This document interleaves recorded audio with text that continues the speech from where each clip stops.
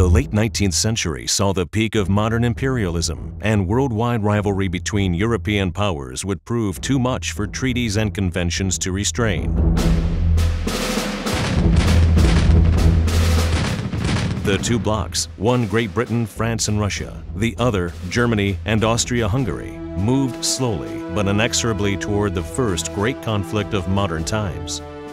The war to end all wars was about to begin.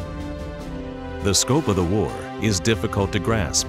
A web of obligations, treaties, and opportunistic alliances drew over 30 countries into the bloody struggle.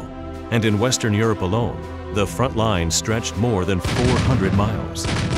From Belgian ports to the distant Swiss mountains, a million men awaited the fateful orders that would send them over the top. In the east, battle lines split the continent, from the Baltic Sea in the north to the Caucasus in the south. The Russian Empire faced the Central Powers.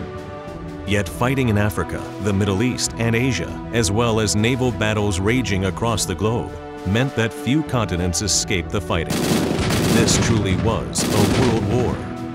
After years of bloody fighting, Germany and its allies, facing military and economic exhaustion, as well as a newly arrived American enemy, sued for peace. The Central Powers lost the Great War, but the conflict had confounded all prediction, and the outcome was far from predetermined. Any one of a thousand decisions by politicians, commanders, or statesmen could have changed the course of the war. So, how will you decide?